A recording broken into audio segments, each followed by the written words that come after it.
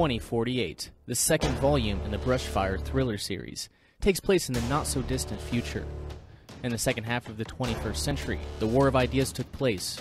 The creation of second realms and individualist decentralized freedom cells spread across geographical regions, and the practical ideas of liberty, voluntary interaction, and peace took hold. The Free Society in 2048 is loosely based on Samuel E. Konkin III's phases of agorism, in which the destruction of the state would be realistically accomplished through the establishment of pockets of free individuals, black and gray markets, and the spreading of the ideas of freedom and liberty, until the demand for an overarching state was no longer perceived as essential, and individualism and voluntary interaction prevailed. The original creators of the Freedom Cells who led the world to a better place are still scattered about, living their lives, including Maxine, the late Henry Tucker's love, and the now washed up but stubborn punk rocker Warren, still reside in the Appalachian Mountains. Maxine's nephew, Vince, and his boy Tommy, who had been van nomads ever since Tommy's mom left to pursue a materialistic quest for fortune in the never ending rat race, went to visit Auntie Max on her homestead on Jim Mountain Road. Although Max is very happy for the visit, she has an ulterior motive. Her close friend she met during her revolutionary days, Isaac Hopper, is trapped in a geographical area previously known as New York City, now known as the State Zone. The State Zone is one of only a handful of remnant states where an overarching power hungry government rules over its citizens with aggressive force. Together, Warren, Vince, and Tommy team up and use their knowledge, including advanced hacking techniques, low tech ciphers, IRC encrypted chat, and cryptocurrencies to infiltrate and evade the authorities in the State Zone and bring back Isaac to freedom. But their mission, the rescue of Isaac, Auntie Max's close friend and confidant, isn't going to be easy. They're up against a powerful authoritarian Hydra state, a massive surveillance apparatus, a relentless and murderous police state, and a propaganda arm that will not stop until extremist terrorists known as the Trio, Warren, Vince, and Tommy, are brought to justice. Will the trio pull off the rescue of Max's longtime friend Isaac Hopper? Will the forces of good, free individuals, prevail against the sadist forces of evil? Find out in the second volume of the Brushfire Thriller series, 2048, available exclusively via Liberty Attack Publications. Just visit libertyunderattack.com forward slash 2048. Again, libertyunderattack.com forward slash 2048, or snag them both in the Brushfire bundle. libertyunderattack.com forward slash 2048 bundle. Liberty Under Attack Publications, share your story, find your freedom. Without telling them, so um, this will go out on, Okay, on all okay, the good to outlets. know. Recording has started. So, um, All right. Fantastic. All right. Well, I'll do a, a quick uh, introduction, and maybe we'll get uh, another person or two to hop in here. But uh, all right, where's the right outline here? There we go. All right, and welcome to this special presentation of the Vonu podcast and Liberty Attack Publications. Uh, I'm your host Shane, coming to you from the Free Republic of Paznia, uh, the Self-Liberator's Paradise. Uh, you can learn more about and uh, join the Second Realm Network by visiting paznia.com. Uh, but today I come to you with another LUA Publications uh, book release live stream. And uh, with that, I'm very, very proud to announce uh, the official release of Matthew Wojtecki's newest book uh, in his Brushfire thriller series, uh, 2048. Uh, if you're at Brushfire and are ready to snag your copy today, uh, you can find that by visiting libertyunderattack.com forward slash 2048. Uh, again, that link is libertyunderattack.com forward slash 2048. Uh, you'll also find the Amazon link there in a day or two, uh, but we do always prefer and appreciate uh, when you order directly from us. And uh, yeah, if you'd like to order the Brushfire bundle, uh, which features the two books we'll uh, we'll talk about today, uh, you can do so at libertyunderattack.com forward slash 2048 bundle. Uh, so without further ado, uh, Matthew, welcome back. Uh, welcome back, man. It's uh, it's great to have you. How are things going? Good, good. Yeah, thanks for having me, Shane. Um, it uh, it's going going really well. I'm really happy to get this uh, newest book out, um, 2048. So it's a it's like the second volume in the uh, Brushfire series. So really excited about it. Yeah, yeah, definitely, definitely. Um, so yeah, I guess first off, mate, I want to I want to thank you for publishing with us with us again. It's uh, you know been an honor and a pleasure working with you uh, on getting to this point, uh, the release date. Uh, I I know I'm really happy with it, and uh, you just gotta you know salute you. Great, great, great job. And uh, obviously, thanks for your contribution to uh, second realm culture.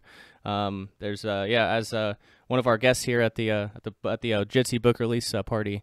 Um, Todd Borho, the author of the Evolution trilogy. Uh, there's not a whole lot of anarchist fiction authors out there, and uh, hashtag Agora, the author's anonymous, so you can't, you don't even, know, we don't even know who the hell it is. So um, it's uh, it's Yeah. uh, definitely always great to see contributions uh, and to sec- second realm culture uh, in this manner. Yeah, it's it's growing though. There there are more now than there were a few years ago. So it's uh just have to be patient and more people start creating content al- along the same lines, I think. Right, right.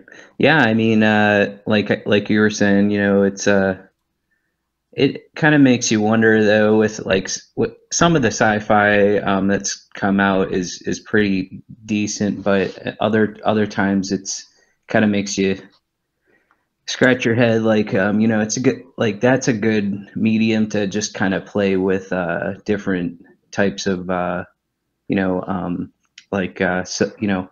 Um, self-reliance and uh, all those types of ideas that we uh, that we um, that we have here. So it's um, you know like the some of the main mainstream ideas. Uh, it's like they they totally kind of missed the point with some of that. So it's good to just uh, um, just kind of get that out there and. Uh, You're talking about mainstream science fiction. yeah, you know, like Star Trek Yeah. and uh, Yeah, yeah, all all the big Hollywood stuff. Yeah, like we we gotta you know we we found this new world but we just we automatically have to colonize it and make it like our government so well, yeah, stuff like stuff like that, uh, like the big mainstream science fiction. I I would say that messages of statism are purposely put in there in order to uh, continue that agenda.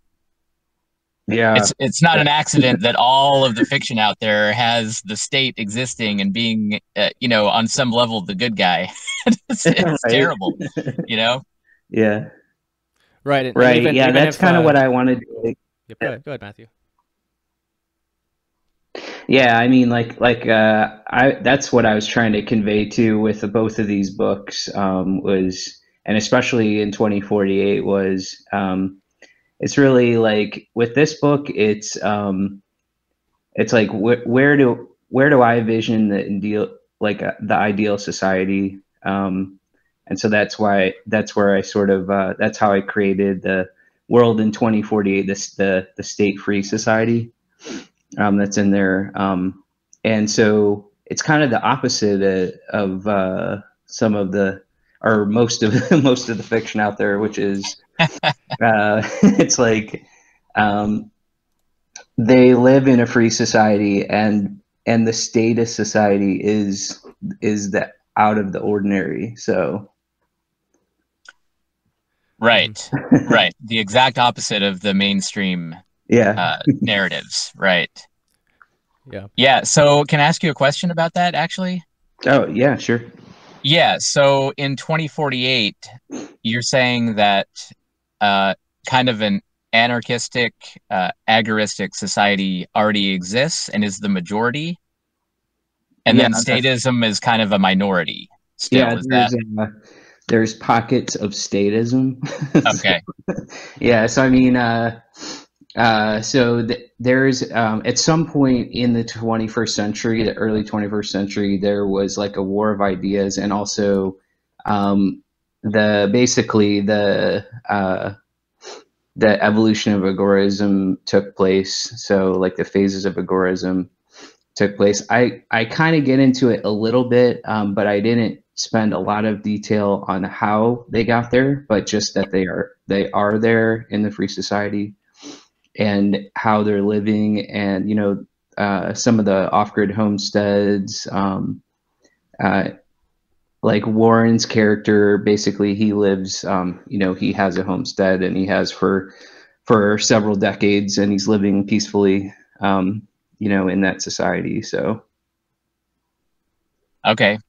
Yeah. So you're offering an alternative, uh, complete societal view, which is very rare. uh, which is great. It's very unique and it needs to be out there. So I'm happy to hear that. Yeah, and then uh, not to give too much away or not to give, eh, not to spoil anything, but they do end up going on uh, a quest um, or entering uh, what's called what I call the state zone in the, in the book, um, and that's basically like uh, what would be considered um, New York City, uh, like in real life, but it's um, in this in 2048. It's basically um, that's basically one of the one of the few areas that's still occupied by a statist central government, and so um, they they have to, this uh, these characters have to go, despite um, it being very dangerous, uh, have to go into the state zone and rescue um, another character in there that's kind of caught up in in the in state zone culture.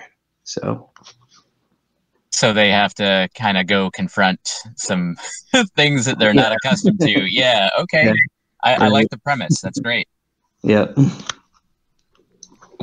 Yeah, and I guess I might add just to, to draw a further distinction between, um, you know, whether it's mainstream science fiction or even just, uh, you know, mainstream entertainment in general. Like they, they may they may dispel some right. truths in there, but um, as you guys are both kind of, you know, I guess alluding to or pointing out, um, you know, the the state is the state's the you know the um, the normal and the good, and and if it's not and it's more like dystopian then it's just kind of hopeless. Like there's no solutions really um, presented. So that's why i really appreciate the, the realm of, of anarchist fiction because um, there's always seems to be solutions um, solutions in there. So um, and you know actual like you know actual you know hope hopefulness um, at the end because i definitely don't yeah. see i definitely don't see just uh, um, you know statism as the statism and coercion is the only outcome is the only possible outcome i see a i think we all see a different way Right. Yeah, and I think we talked a little bit before about it, just the idea of using the, this as like a medium to uh, to show, I guess, in fictional societies that things, you know, could be possible, or at least make people wonder. Uh, hey, can we, you know, can I do this in real life? Can I become more self-sustainable in in real life? Um, and that's kind of what I wanted to draw a parallel in with. Uh, with 2048. Um, in Brushfire, I think it was more of like sort of a, um, I guess like a Matrix type of a moment where, um, you know, Henry finds this book and he's suddenly like awakened to the fact that his he's living in a uh, like a dystopian hellhole. so, mm. um, but like in 2048, it's sort of uh, um, I wanted to play with the idea that um, you know, uh, this is where this is where I want to live, basically, and this is the world I want to go in when I read like a fiction story or something. I want to just escape from from you know the servile society for a while, um, and hopefully, uh, when people read it, they'll they'll be able to to like kind of get that get that escape, I guess, and then um, and then also, like I said, you know, with drawing. Uh, parallels to real life. Um, you know, I, de- I definitely in this one I use uh, plenty of um, like real life uh, agorist like uh, methods and homesteading and um, and then uh, also like the the freedom cell idea comes up again too um, in this one. So, can, can I ask you? Did you start writing anarchist fiction just with one of the ideas in mind to actually plant Seeds of Liberty uh, through a fictional means? And, and if you did, uh, why why do you think that's an effective way to reach people?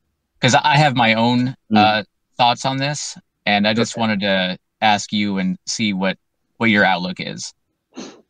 Yeah, I, I definitely uh, I definitely plant plant some ideas, uh, especially like in Brushfire. Um, mm. And the interesting thing about Brushfire was uh, I think uh, I was still kind of going through my own evolution when I wrote the first one. Um, so it was very interesting to kind of be, re- you know, reading and researching. And, you know, I think at the time um, that was uh, sort of the tail end of the uh, Liberty Under Attack podcast, and then the, and then when you recently, like when you guys dis, or when Shane discovered the the Vonu uh, strategy, that was kind of um, that kind of like helped helped me evolve personally, but then also I was uh, still in the middle of writing the book, so um, so that was as kind of a coincidence. But uh, but but I think I was able to um, um, kind of uh, make sort of make it sort of relatable to somebody that um, you know maybe just works like a nine to five job and goes home and and watches movies and uh, does it all over again to get exactly you're you're trying to reach the I, I don't like to use terms like this but for lack of a better word uh, you're trying to reach the normies basically yeah. like right. some some guy like you said works nine to five and just wants to read uh, a fiction book to un- to unwind and relax yeah mm-hmm. sure uh, yeah that's that was my one of my main reasons for starting to write anarchist fiction as well and another reason is that people are more receptive to these ideas if it's in a fictional format yeah. And this right. this is well known in psychology circles. I mean, mm-hmm. if you try to wake people up with just straight facts, they can yeah. get very defensive. And if but if it's just a little seed planted in a mm-hmm. in a harmless fiction book, then they're more receptive to it. They're not they're not on the defensive. So that's that's a big reason I started doing it because it it's very it almost doesn't exist. It's a very small genre at this point. So there's an opportunity there to to create more and to reach more people through that medium. Right. Yeah. T- totally agree. Yep. Yep, I, I, like like everything I've heard so far. So, and, and I guess you, you kind of are you, you, you already answered. Uh, um, I was going to ask you. Yeah, that was so. Yeah, Todd, good uh, good question on that one. Um, I guess uh, you talked about Brushfire a little bit. Uh, um, it, it is the first book in the series. Um, do you want to provide a brief introduction to mm-hmm. Brushfire, and then we can we can get more into um, into what you uh, you know what's new in 2048? Yeah, sure. So, uh, so Brushfire is the first uh, first volume in the in the series, the two two parts so far, um, and uh, basically um, it starts off. Um, you know, Hen- Henry Tucker is like kind of the main uh, uh, protagonist in this uh, story he he works at a um, like an antique mall, um, and so it's a it's kind of a perfect place to really, uh, um, I guess, bring in certain items and certain characters that come into the store and everything. Um, and also, um, you know, at some point he he hooks up with this uh, character Winston, who uh, is kind of a kind of an off the wall character, more of like a uh, just a wild um, wild card, I guess. Uh, and um, I guess he would, in this case, he he would be more of like the agorist Winston would be. Um, and so Henry's, I guess, like with his limited, I guess, uh, um, the amount of people that he socializes with, he basically just goes home and you know gets drunk and uh, gets a paycheck. He maybe socializes with someone at work or whatever, but he, I guess, like he meets this Winston character, and uh, and then um, you know really opens up his worldview. But Winston ends up um, getting into some trouble with the law, and then um, and then you know at some point um, he has a, del- a, like this mysterious delivery uh, to uh, Henry's um, antique shop um, which is this uh, book called The Long Plan. Basically, this is a lo- this long plan is is like a uh, a book that is used by the ruling class to uh, to kind of describe how they're going to to I guess take over or further like subjugate the the people or the you know the the cattle I guess if you will but um, this is, I guess, used as sort of like a red pill um, in the book to kind of uh, uh, wake Henry up. Um, I guess uh, within you know a couple of chapters. Um, I know I I realize that it's not maybe realistic in real life, but uh, I think it was a good way to just kind of uh, um, use it as sort of like an immediate wake up kind of um, not necessarily like it like like I guess in reality like this would have taken somebody maybe you know a few years. I know it took for me it took uh, a couple years to just sort of um, accept uh, some of the facts that I was reading. Um, but I think uh, think it was a good way to to do that. And then I use that sort of um, as like kind of a tool throughout um, this book and 2048 to uh, basically um, describe uh, like what the ruling classes uh, plans are for uh, for taking over, I guess. Um, and there's like some passages in Brushfire, but I don't go into like exactly the entire Long plan, I guess. Um, we kind of can assume uh, what that what that is. Like um, it's just to kind of keep people asleep and um, uh, you know not look into facts in detail um, and uh, just kind of uh, you know basically be revenue generators. um, so so I guess uh, na- like this this uh, Long plan in Brushfire basically. Um, it's not it wasn't supposed to get out, but somehow Winston was able to get his hands on it, and he he sent a copy to you know to Henry, um, basically you know, um, not necessarily point like I guess like hit, he hid it in a shipment of other books, and was hoping that Henry would find it. So it was sort of like. Uh, um, you know, Henry had to kind of make some effort to uh, to uncover this and I do kind of describe Henry as like a character that's very like over overly curious.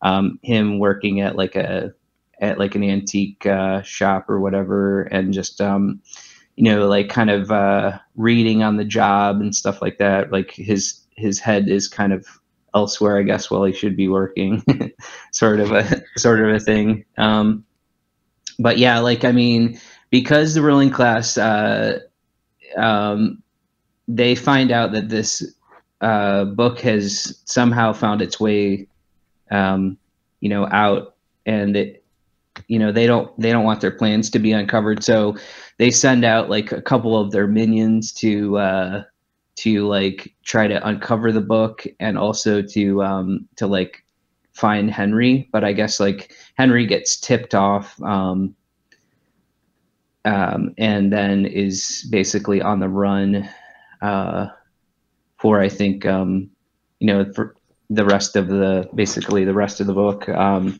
and uh, at some point, he does hook up with a freedom cell, um, and so these freedom cells do exist in Brushfire um, in that society. Um, and uh, at that point, I am able to take to like play with some ideas like uh, low tech um, encryption methods through like uh, um, like he basically uh, leaves a message in like an unmarked mailbox or something, which is like a, using a using like a cipher, and then uh, that's how they found like the location of their next meetup. So um, it was re- interesting to play with those ideas. Um, and then you know obviously like the freedom cell idea is really like throughout this volume and the second book um, because i think that's re- like i think that's really one of the mo- more uh, effective methods that, that we have in real life you know um, just like yeah, decentralized uh, freedom cell idea um, so i wanted to just make an effort to include that um, because i think it's you know definitely uh, effective. Um, and then, uh, you know, at the, at the end, um, I guess like for those of you who haven't read it, like, um, not to spoil anything, but um, it does get quite a bit worse at the end of Brushfire.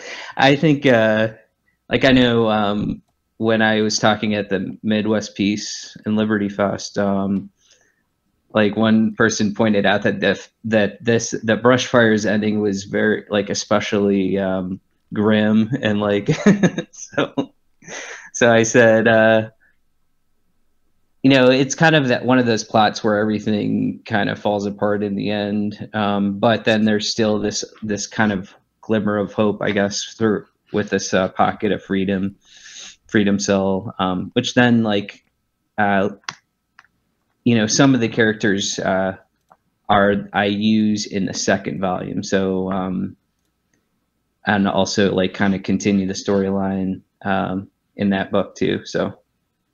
Mm-hmm. Very good, very good. So I guess the um, a question that I that I guess that I would be definitely interested in if I was you know listening to this right now is um, you, you, mentioned a couple of the concepts that, that you that you talked about in Brushfire, freedom cells, you know, um, I guess security culture, the low tech encryption. I guess uh, uh, you, these are so you definitely still drew upon these ideas in 2048, but um, what new ideas or I guess uh, um, like liberated lifestyles or what new uh, freedom strategies uh, made it into 2048?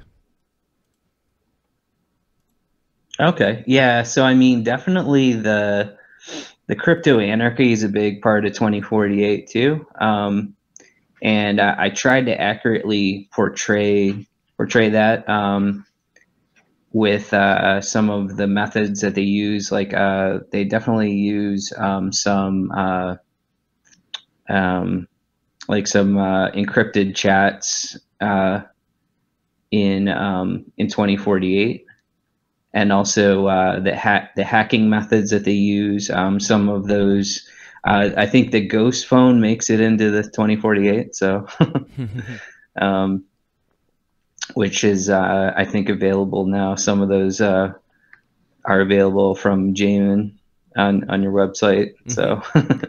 but uh, but yeah, like um, wanted to include some of those methods, like the crypto anarchy methods. Also, um, there's another like lower tech uh, cipher that they use, um, I guess, on top of uh, of like some of the hacking that they do. So um, you know, it, like in 2048, uh, they in order to, I guess, like um, gain access to the state zone. Uh, uh, Warren, who is Warren, who is in Brushfire, is also in 2048. He's he's aged quite a bit, but uh, but he's still, I think, a lovable character. Um, he's a crypto anarchist. Um, he's very rebellious, um, and he's just uh, like kind of just an overall like smartass type of a guy um, that just like does what he wants. Um, so uh, Warren and or uh, I mean uh, Vince and Tommy, who uh, Vince is a um, is a van nomad, and Tommy is his uh, kind of like his teenage son. So that those are uh, kind of the main characters in there. Um, Maxine, who is in Brushfire, who is like a was a waitress in Brushfire, and basically Henry hooked up with uh, with Maxine, and then Maxine's in Brushfire ended up like reading the book um, and uh, you know the long plan, and um, basically was also awakened. So he let so Maxine um, follows Henry uh, and sort of um, you know hooks up with the Freedom Cell in the in the first book. Um, so Maxine is uh, is in the is in 2048 and and they and the book starts out um, where uh, Tommy and Vince are, you know, driving to Max's homestead to, uh, you know, just to visit. Um, they are related, so like Vince and Tommy. Uh, this is like Maxine is their aunt, so uh, um, she, you know, Maxine is obviously like in 2048 the characters that have survived um, the first book are quite a bit older, so so um, they've sort of kind of they've sort of uh, carry on the legacy of the of those ideas um, and sort of just um, into the second second book. But uh, yeah, like a lot of the the like the encryption methods, um, like uh, hacking techniques, the crypto um, crypto mining, um, as well as like that combination of uh, of the homesteading um, uh, self self sustainability aspect um, with like the the uh, garden and stuff. So you know Warren Warren uh, has his homestead and he loves his garden and his chickens and uh, so so um, but um, but I think you know that I tried to make the characters uh, um, I guess uh, identifiable um, within the within the second one too. So Yeah, Could I ask a question real quick regarding the technology? Yeah, sure, yeah.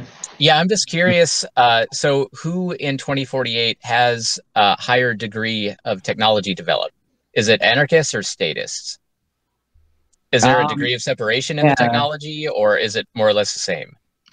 It's a, that's a good question. So, uh, so in 2048, um, it the answer would be both. Uh, this the um, the free society has uh, mastered technology and is able to use it. Like um, for example, like Warren is uh, Warren has um, access to those tools um, and and uh, so they I do spend quite a bit of time with uh, with Warren, Vince, and Tommy um, trying to I guess like uh, hack into some of the um, servers in the state zone. Um, so the state zone basically, I guess it's typical with uh, reality right now is that um, you have this like overarching government um, that has access to technology and um, just has like a very is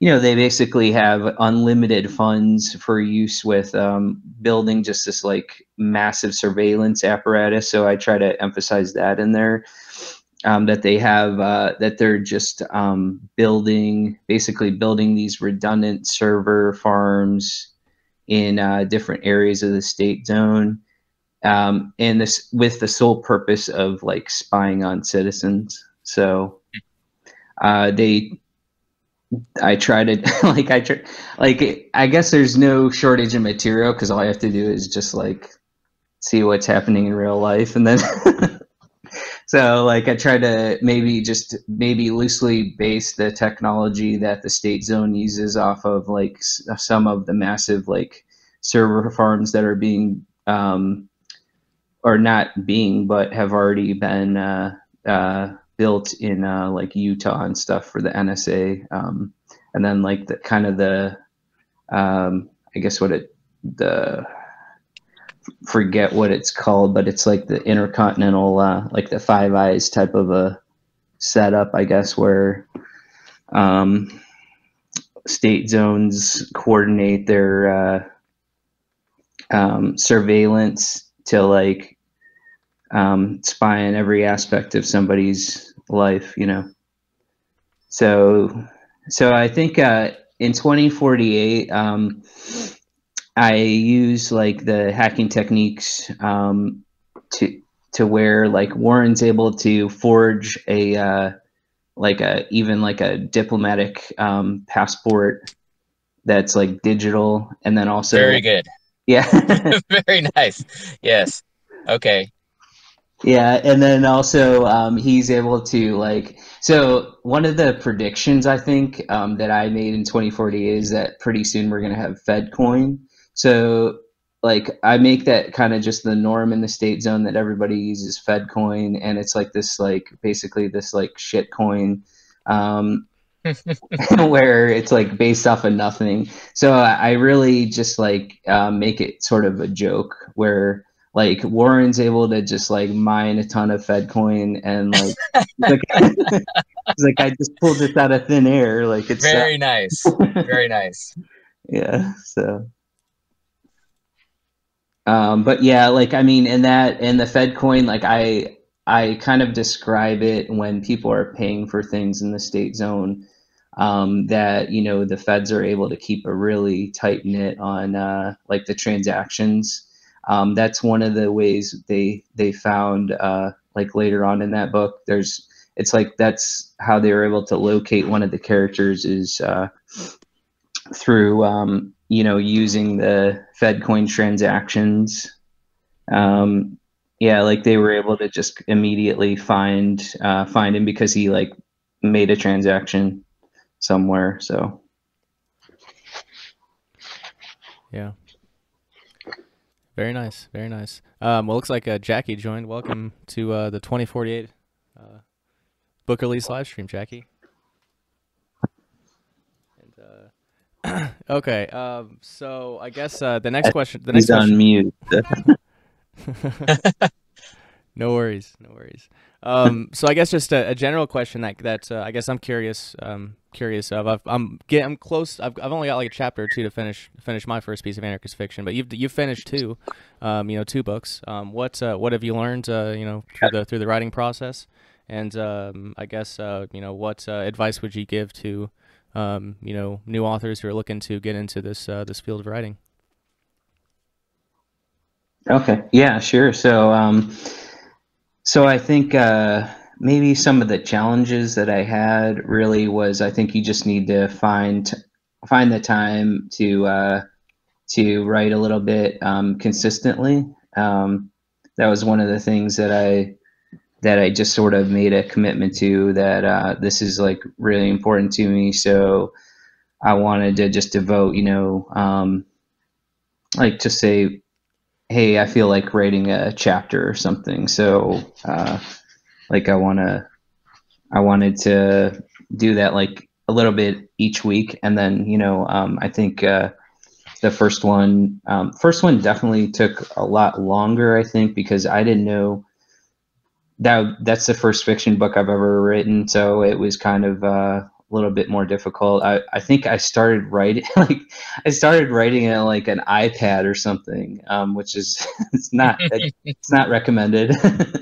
and then uh, and then like I was able to somehow um, like I got a laptop um, and then just continued on there. But but yeah, like I mean, like I was I guess like I didn't when I first started, I didn't really have much conviction, I guess. Like, hey, if this if this doesn't like I didn't know it was going to actually turn into the finished book. Um, so uh, um, it's it was good that I was able to just follow follow it through, I guess. Um, and you know, it may may well haven't like it like it uh, it couldn't have played out like it could have just um, you know been uh, like not a good idea or something. Um, but uh, but yeah, like I had that idea and I just kind of ran with it, and that's I think uh, I think that's just kind of what you have to do. Um, I know I know like there are different writing styles and there's different styles that that uh, people use just depending on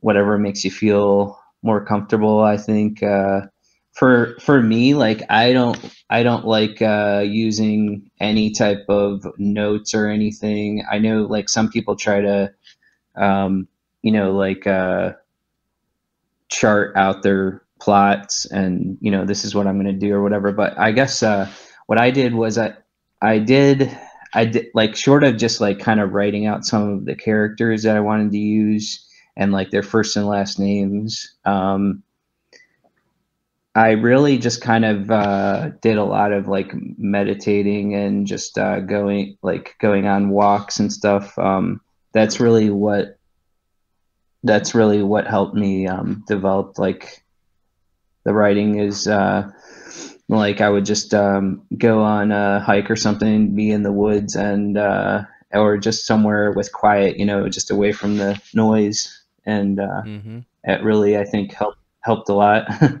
Um, and then another thing I, th- I think we talked about it a little bit was just like you know um, trying to get away from uh, some of the propaganda and stuff. Uh, um, really, just uh, um, not just like um, totally cutting yourself off from the news and social media, um, because like um, whether you like it or or not, I think uh, your mind does like absorb a lot of that information. And um, it does like i found i found that it was even coming out in the writing. And there were several like chapters that i had to rewrite mm-hmm. because uh, it was like just subconsciously came came out in there. And, and they weren't my ideas at all. It was kind of scary but uh, then i was like i just gotta completely um, cut that off you know? So. Yeah Yeah, well said, especially on that uh, on that last point. Um, yeah, I'm definitely definitely with you on that one. Um, and I will, I guess, I will mention just for uh, for the for the podcast and uh, and video viewers, uh, if you're interested in picking up uh, 2048, libertyunderattack.com forward slash 2048, uh, or if you'd like to pick up the Brushfire bundle, uh, libertyunderattack.com forward slash 2048 uh, bundle. So I guess uh, just out of curiosity, I, I mean, it's uh, you know the I know uh, quite a, quite a few people uh, really enjoyed the first audiobook. Um, so uh, you know, what are your plans for uh, in, in that direction for this one? Um, yeah, like I definitely, I would definitely like to to do a an audiobook for this one too. Um, I think it just depends on the willingness of the um, of the cast that we had last time. Um, see if uh, Silas wants to wants to commit to that again. um, I know it was a lot of work, uh, a lot of work last time, but it definitely turned out great, and I was, you know, I was really happy with it. Uh, I know Todd, you said uh, it was your first first audiobook, so hopefully it was, and you know, that was the first time I heard Silas and he definitely has the voice for it. He's yeah very talented with that. I is I was very impressed. That's yeah, it, yeah, I definitely um, right. Like I know I don't listen to audiobooks too often, but I know um, it definitely like this one definitely was great because you know he had all the different voices uh, um, covered, uh, which was which which was great, and uh, and then um, Aura I think had some parts in there too. So. Mm-hmm. See, I've never I've never had an audiobook done, and I'm I'm kind of curious how long was the time frame to get that done? Just like a general idea from because i've never done it before. I don't um, have any audiobooks yeah so so narrating isn't really narrating really isn't like the worst part of it it's the post-production.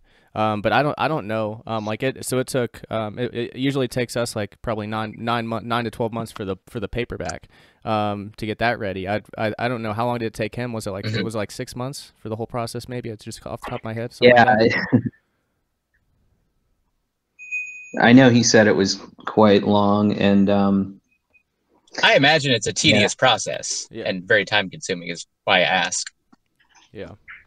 Right, and I know, like he said that uh, he said that um, to, like it's some of those characters have like very gritty voices, and I think like he was uh, he like was in the like the process of quitting smoking or something. I said like, you're, you're, gonna you're just gonna have to keep smoking until yeah. That'll help with the grit for sure. Yes. Right. fantastic, uh, fantastic. So I guess um, we do have do uh, do have uh, one set of uh, the Brushfire bundle to give away. Um, I'm not sure. I didn't even really think about. it. I think last time we uh, um, I, we didn't even talk about, a, I guess, a method of uh, distributing these uh, or choosing the uh, the winner for this. Um, and I guess there's, uh, you know, there's two. Maybe you maybe you just uh, choose a number or something. I don't know. What do you think? Or I guess we just get we just give brush fire bundles to both of them. Call it good. yeah, yeah, that that works. hey, if you want to send me one, I would be honored. That that's fantastic. Right on. Well, yeah, we definitely we... like money for the second book for sure. I'll put that at the top of my reading list. Right on. Well, nice. I de- definitely appreciate you guys. Uh, appreciate you guys coming. Yeah, first uh, we're gonna do a live stream, but I figured like you know digital second realm and all. I think it's Jitsi's more in line with uh, a Jitsi. Uh, you know, live book yeah. release party is definitely more in line with. I could see a lot of characters in your book doing something like this. I guess put it that way. right. yeah. Yeah, definitely. I saw the uh I saw the what is it? Um ZRTP or something. It's uh pretty solid, so right. Yeah. Yep, that is uh that's that is uh true and completely open source, so um peer to yeah peer to peer video calls. It's incredible, absolutely incredible. So anyway, to not talk about Jitsi anymore, we're here to talk about uh, about uh, your books, Matt. um, I don't have any any other uh, any other any other questions uh, off the top of my head. Um, but was there anything else you wanted to tell people about uh, Brushfire 2048 or uh, um, you know, the the writing process, or just uh, whatever you like. Yeah, so I mean, uh, I guess one thing about 2048 um, and was that uh, I guess like the names of the characters, um, I sort of uh, um, there's some meaning behind those. So I guess uh, I just sort of leave it up to the reader. Um, you know, uh, at some point, somebody's bound to uh, Google the name of, of some of the characters. and uh, that's also like kind of an Easter egg in there, too. Um, so I think, like, just to give one of them away, I guess, uh, like Isaac Hopper um, is like a abolitionist. So, um, that's kind of uh, and then I think also it's it sort of has like uh, some religious un- undertones too. I think because he Isaac kind of uh, is um, is sort of biblical in a sense. So uh, so it has some me- ha- they do have some meanings in there. Um, and then uh, um, yeah, I mean other than that, I uh, like I I definitely tried to um, you know, in 2048, it was um, basically, you know, the uh, the world that that we're, you know, basically striving for. So, yeah, agreed. Well, I, agreed. I can't wait to read it. So I'm I'm looking forward to it. And it has a happier ending too. So, fantastic. Yeah. Right on, right on. Well, uh, Todd, Jackie, do you have any any other questions or anything you'd like to uh, to leave uh, for the listeners since uh, you're here? Uh, Jackie, go ahead. Really, really, really excited. I think uh, I really, really enjoyed the first book. I can't Oh. wait to read the second book um, and read the character, how they've progressed and developed. And um, I love your writing style. Uh, Yeah, we're thanks. so fortunate to have you every month, both of you, actually, Todd also. Uh, and I just, I love how you both present your ideas, and it is so palatable and so smooth, and you uh, you present difficult ideas in such a great way. And so I can't wait to read it. nice. Thanks. I really appreciate that. Awesome, awesome, fantastic. Well, And uh, Jackie, by the way, it's great to meet you in person for the first time as well. So, uh, this is the first time we've had a chance to talk. So very nice. yeah, great, great to meet all you guys. yeah. And Todd, it's if you so good to see you too. Todd, if you want to if you want to mention uh, if you want to mention your book too, feel free. And Jackie, if you want to mention RTA.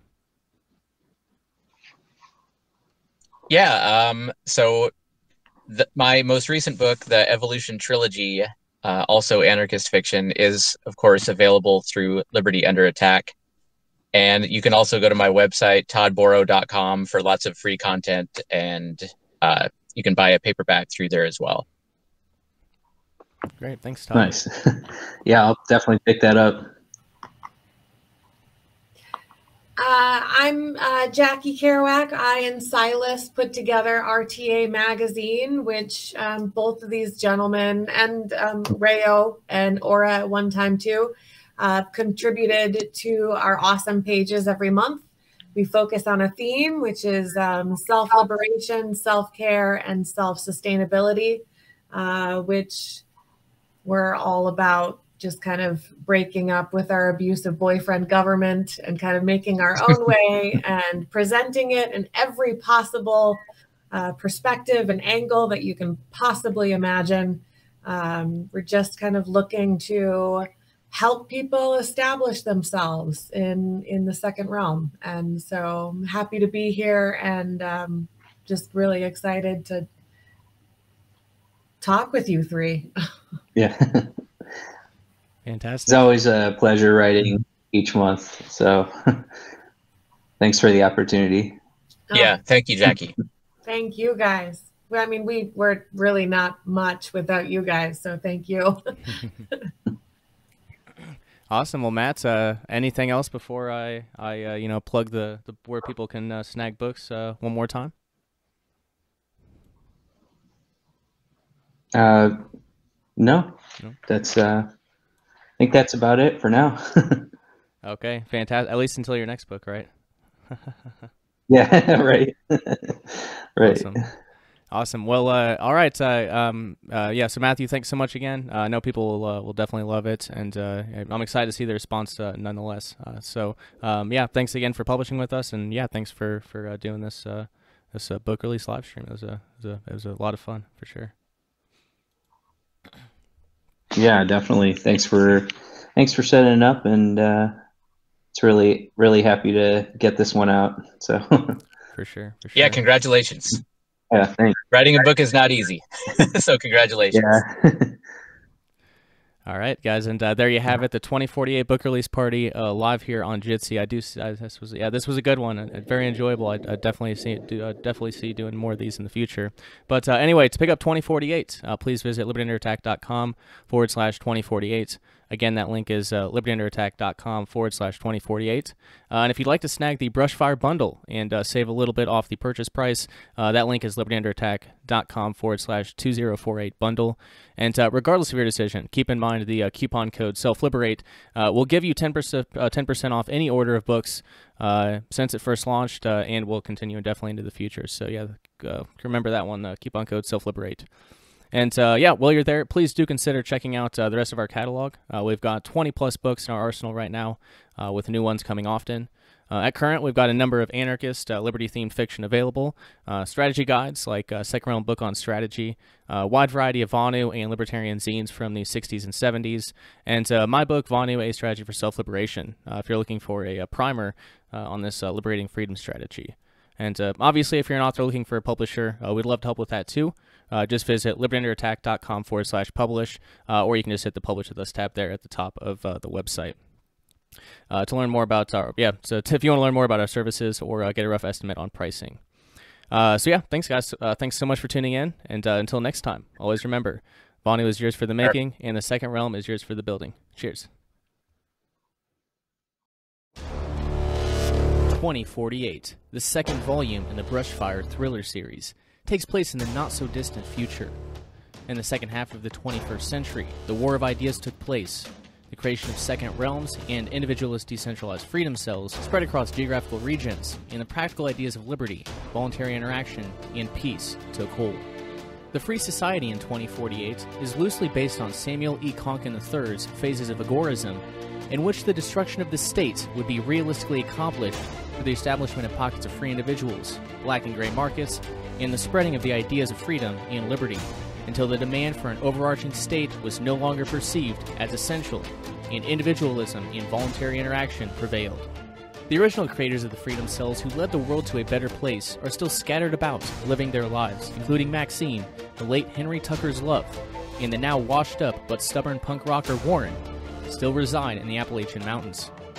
Maxine's nephew, Vince, and his boy Tommy, who had been van nomads ever since Tommy's mom left to pursue a materialistic quest for fortune in the never ending rat race, went to visit Auntie Max on her homestead on Jim Mountain Road.